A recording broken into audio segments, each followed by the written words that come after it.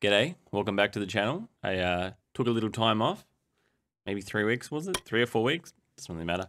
It is irrelevant. So today we're going to talk about how to make your footage look really nice with a simple selection in the settings.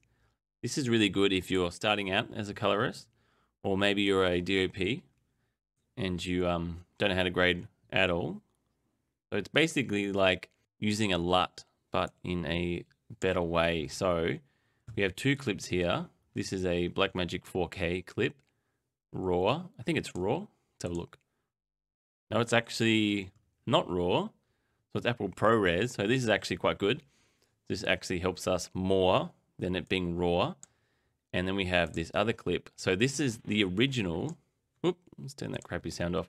This is the original Blackmagic Pocket. So I bought this camera obviously a while ago it actually looks quite nice. Um, when I started shooting it, I was really tired, obviously.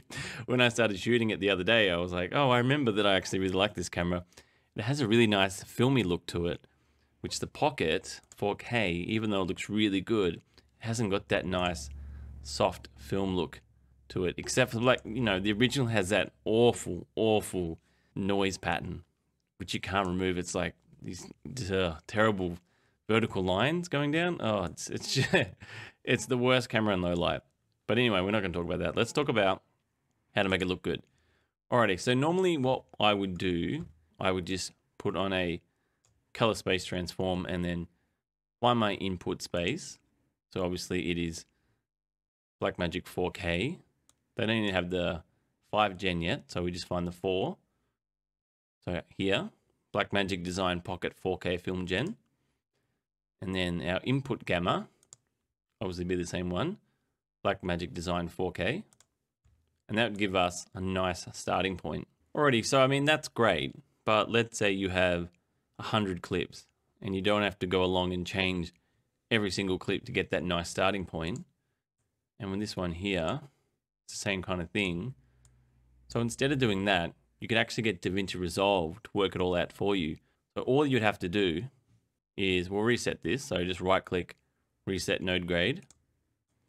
And to get DaVinci Resolve to figure out what color space to put your footage in, you come down to project settings, right down the bottom here, right hand side. And then you go down to color management. Under color science, you want to choose DaVinci YRGB color manage. So basically that just tells Resolve, hey, I want you to do it because I'm way too lazy to do it myself. And you're so intelligent. And we just love you so much. So please do this for me. And then under Resolve Color Management preset, you want to be in DaVinci Wide Gamut. And that will give you, well, obviously a widest gamut. So if we did this one here, we're working in a smaller range. So we want to be in the widest range possible when we grade. And this will help us in any future clips we have. And then don't worry about this. So this is the color space that's going to work into, meaning we're going to be working in Rec 709, Gamma 2.4 space. So then you go down and save. And as you can see, we already have this nice stunning area. And the same with this here. Now this one here looks a little red because I didn't balance it properly. But as you can see, we were to take this off, and again go back up here, look how flat our image looks. But a simple little selection here, wide gamut, again, DaVinci YRGB color manage, resolve management preset, DaVinci wide gamut, click, boom.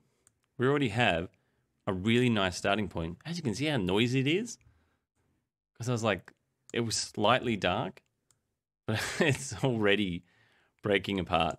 Oh, Blackmagic Pocket. You were good for your time. Anyway, then all you would do is just start grading this footage. Simple as that. And we've made only a few adjustments. Actually, let's put some more color back in.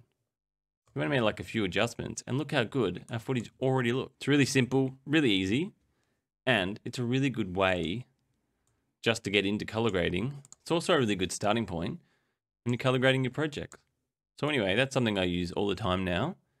And I would suggest you using the same. You don't have to use the same. If you want to use the flattest possible footage, then you wouldn't do that. Now, if you're using footage from a camera that Resolve doesn't pick up, and what I mean by pick up is it doesn't understand the color space you're working in, what you would do is you'd come down to your media, and I'll show you what I mean. So in this instance, Resolve knows that this is Blackmagic footage because Resolve's pretty smart.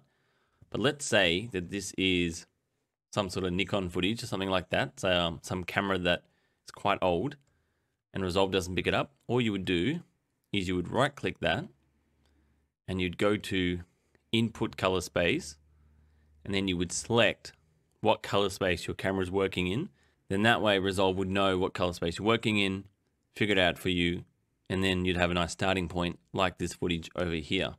So that's all you got to do. So just in case your footage comes out and it's completely flat still, just go media, click on that footage you want to change, right click, go to input color space, find the camera you're working with or the color space you're working with, select that and the resolve will do all the rest for you. So something that's really handy to know and something, like I said, I use all the time. So thanks for watching. Hope you enjoyed it. Make sure to like and subscribe. Leave any comment below, anything else you want to see. I am working on some grading videos. Sorry, I've been, I've been a bit distracted. I've been um, a bit lazy lately, I'm not going to lie. But I am trying to get back on and do some more work. Anyway, that's pretty much it. Thanks for watching. Hope you have a great day. And I've been Drew, and I'll see you next time.